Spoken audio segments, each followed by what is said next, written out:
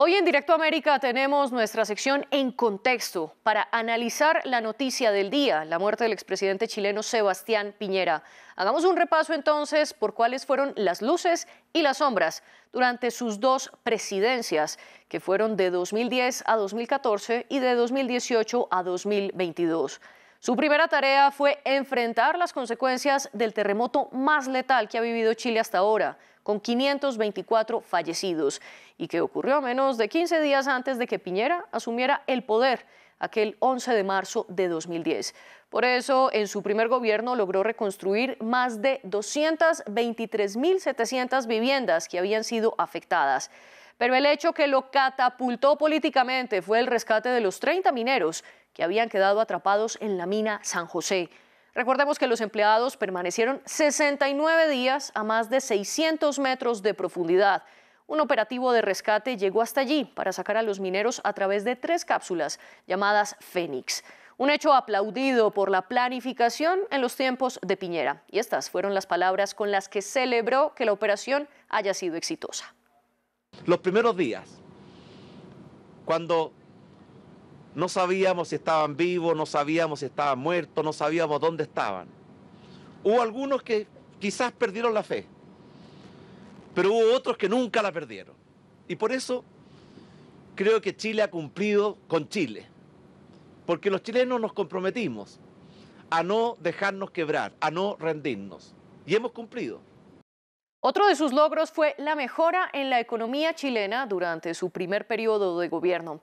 El Producto Interno Bruto de Chile creció particularmente entre 2012 y 2013, mientras que la inflación bajó y el desempleo se redujo levemente. Todo esto según la Comisión Económica para América Latina y el Caribe, la CEPAL. Desde ese último año, el 2013, la economía chilena se estancó y Piñera pudo atribuirse una victoria económica importante por lo menos hasta ese momento. Pero no todo fueron éxitos en los dos periodos presidenciales de Sebastián Piñera.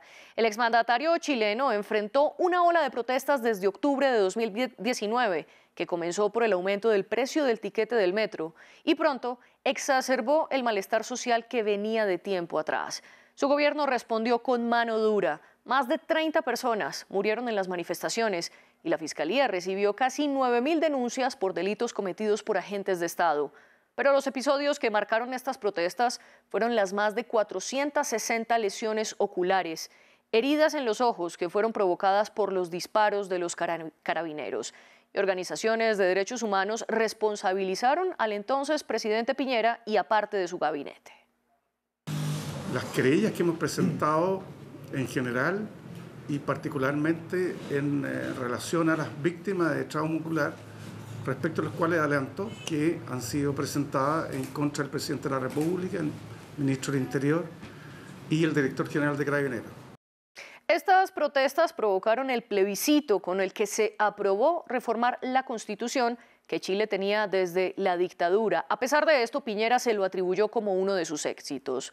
Poco tiempo después del estallido social llegó la pandemia del COVID-19. El mismo Piñera afirmó que su gobierno había cometido errores en el manejo de la crisis sanitaria. Por ejemplo, aprobaron el uso del medicamento cloroquina para tratar el COVID-19 a pesar de que no estaba respaldado por la ciencia.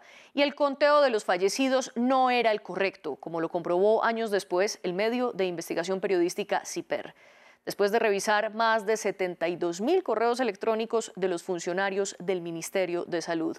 Otro de los puntos más criticados de Piñera fue su papel como empresario. Aunque él defendía que la lógica empresarial lo ayudaba a gobernar con eficiencia, hubo conflicto de intereses, pues además de ser presidente, era el principal accionista de la aerolínea chilena LAN, que luego se convirtió en LATAM. También tenía participación en canales de televisión y en la compañía Blanco y Negro, la administradora del equipo de fútbol Colo Colo. Este es un breve resumen de lo que ocurrió durante los dos gobiernos de Sebastián Piñera en Chile.